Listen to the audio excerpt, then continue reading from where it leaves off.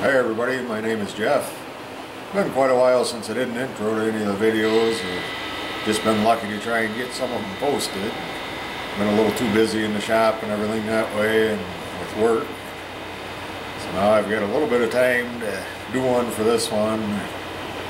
Uh, it's going to be a case in well, another month or so. Be tapping trees and everything that way, so we'll really get behind again then. But uh, what I've got going on today is I've got a friend up north that's got a big wrecker. Well, he's got quite a few wreckers and everything. And he's got some pins that go on the back on the wrecker for, like if you have to tow, tow a truck backwards, there's a lot of the times the little U-shaped ones that go around an axle aren't big enough for the rear axles. There's not an easy way to pick them. So what most of them have got are a pin that is a two and a half inch diameter pin that has a hole in it, about a two inch, well inch and seven eighths is what the ones he's got are. They go up around the stud and bolt for, well you're basically your U-bolts on the springs is what it amounts to. And you can pick them up that way and then chain them and take off down the road towing it backwards. He'd like some a little bit bigger and he hasn't found any place he can order them so I told him I can make him some easy enough. He needs it bigger actually for where it goes in the truck. The originals have a, I believe it was an inch and seven eighths diameter pin that goes into the truck and then the hole on the inside. The piece is a total of seven inches long. So you've got three inches that goes into the truck and the other four inches that sticks up that goes, has a three inch deep hole in that goes underneath the truck to the, over the nut bolt for picking them up. Gonna make more sense when I show them as I'm making them. So basically what I've got is some 2 and 5 eighths. I want to make it an eighth inch bigger diameter. And I was going to go with some 3 inch I had, but if you get too big, well then you're going to get too close to the axle where it'll cause problems with trying to get them in over the nuts again. So that's why I give them an eighth inch bigger ID for getting around some of the larger nuts. And plus on his truck, the pin part needs to be, well I'm going to make it just a little over two inches. It'll probably be oh, about two inches 50 thousandths. I could go probably a little bigger than that. The one set of blocks he's got is about two and an eighth. And the others are around two and a sixteenth, but I don't want them too snug so when you go to drop them in, you got to fight them or even taking them out for that matter. We'll get set up here in the lathe and get going. And thanks for watching. Hopefully I can get some of this other stuff edited and posted. And I've still got back on that broken Massey Ferguson tractor. We've got the engines going together and everything that way. And just haven't edited any of that video yet. I'm kind of waiting. I figure I can do a two or three part deal, kind of do it all at once when the whole tractor's back together and running. It's been an interesting winter and spring's coming fast, hopefully. So thanks for watching. Okay, we got a piece of 2 and 5 eighths, 4140 truck. You put one of these pins in, I've got to turn it down to 2 inch diameter. Like I say, this is 2 and 5 eighths. And then bore a hole in the end about two inches diameter and three inches deep and what they do is put it up under the spring shackle basically of the truck where the stud sticks down and the nut goes inside the hole and then the other pins setting in the arm of the wrecker. They can pick them up that way and then chain it to it and tow it down the road. It's only got to be turned three inches back. From the end down to the two inch ID or OD on this end. So once I get it down to, well actually, we're gonna go a little over that, probably two and a,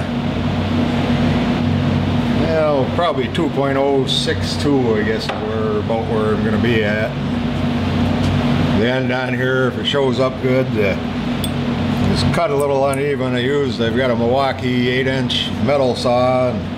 It's basically a metal skill saw or circular saw. And it's really designed I think they only figure up to half or three quarter inch.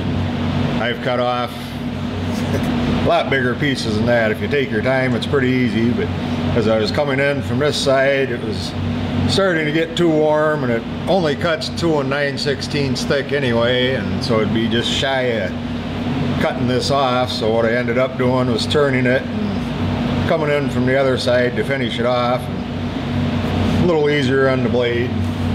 We're just going to face it off here and then get her cut down turned down to size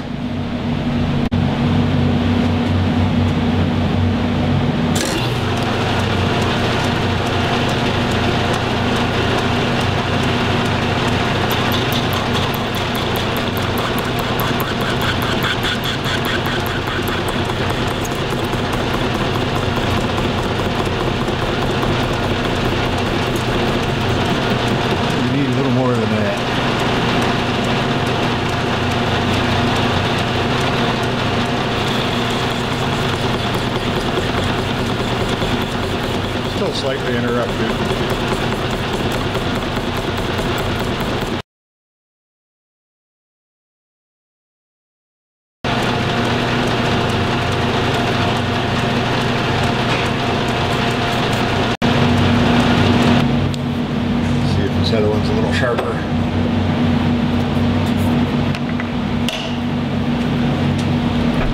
have to change the insert need my variable speed on the lathe. Hopefully it'll get set up sometime this winter yet.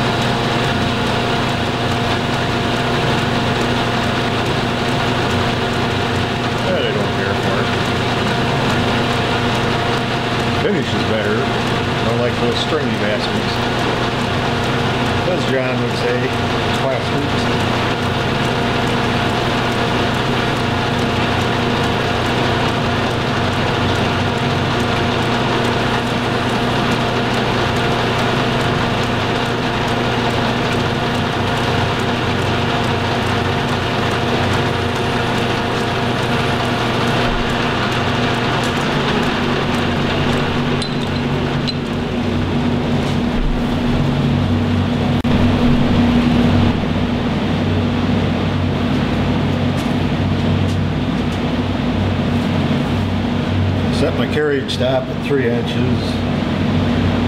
Well, as I've mentioned before in this lathe and when I was making the tool, that seal tool, it's the case that the belt slips when I'm taking too big a cut and I don't have the variable speeds. I've only got two speeds, well four speeds, the two high and two low. Odds are the belt will slip if I take too big a cut. So I'll probably start off with maybe oh, 150 off at 75 thousandths cut. See what it does. May get too smoky, I'll get that fan going if it does.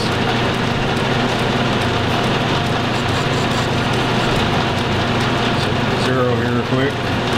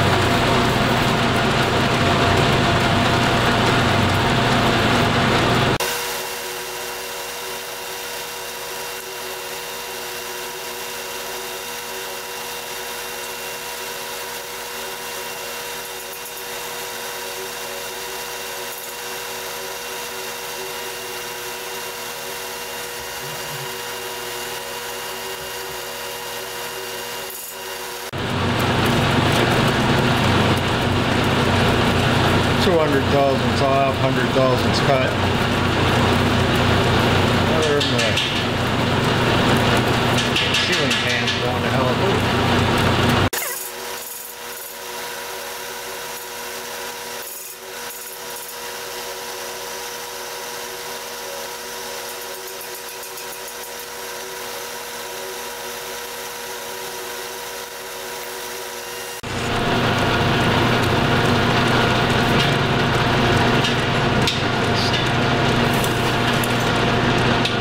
Chips out of there before it. You could actually hear the motor speed back up a little, so at least my belt isn't slipping today. But it's 200 thousandths off. It's all this little single phase can handle.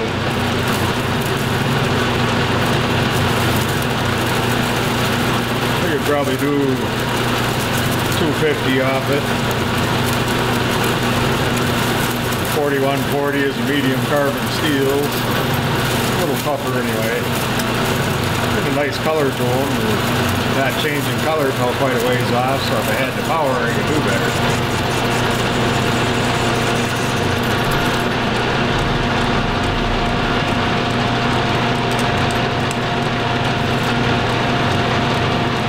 I guess that didn't hardly change.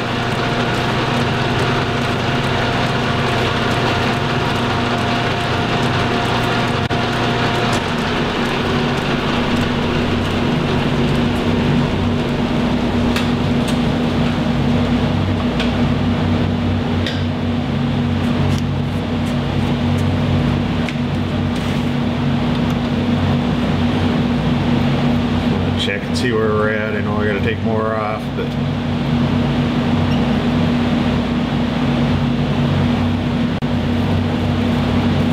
When you get the long stringy ones like that, it's not nice. Or that big nest I had forming in there before. Don't want it catching on the truck coming around and getting you.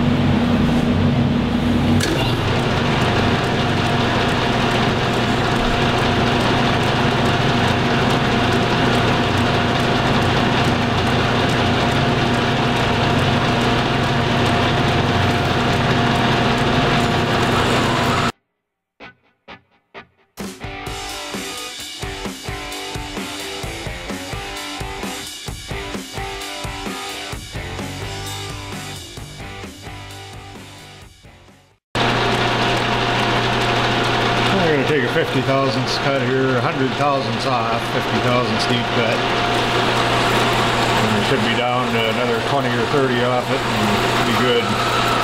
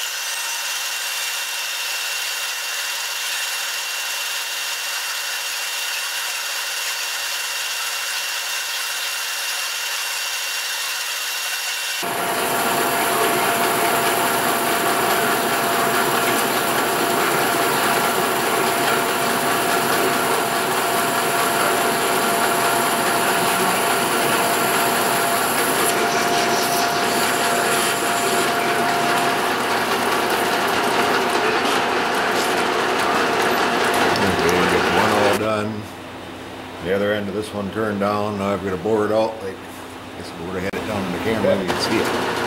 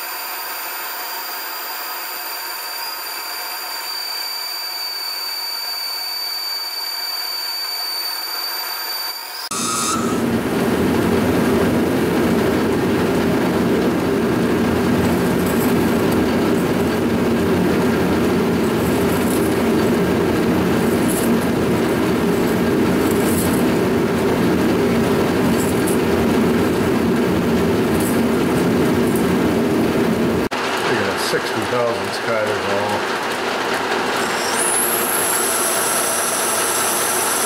A quarter inch tool won't handle too much more than that in this harder metal.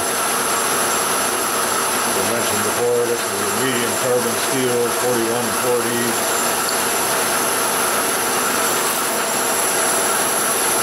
It's already been tempered and heat treated.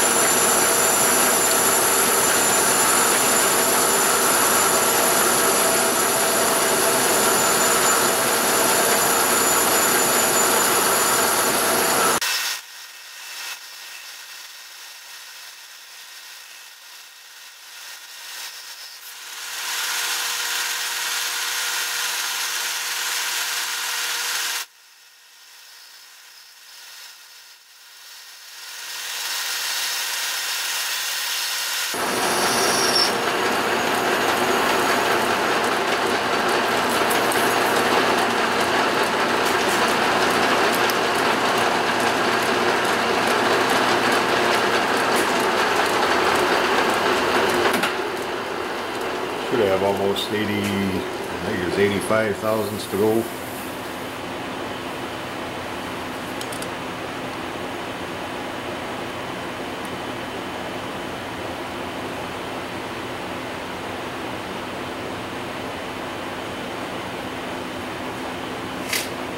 Only about 75. That Should do it.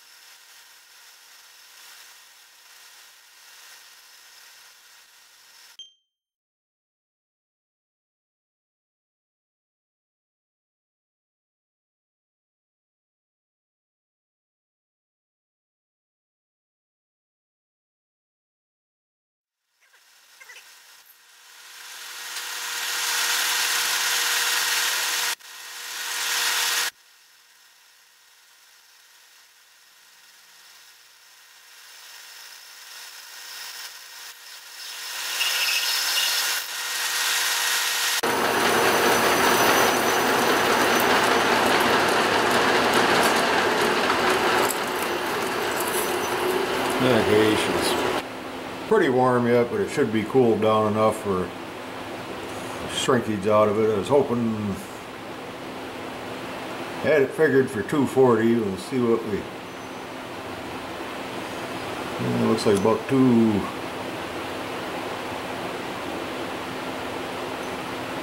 I'll get in the snap gauges, and I get 239 there.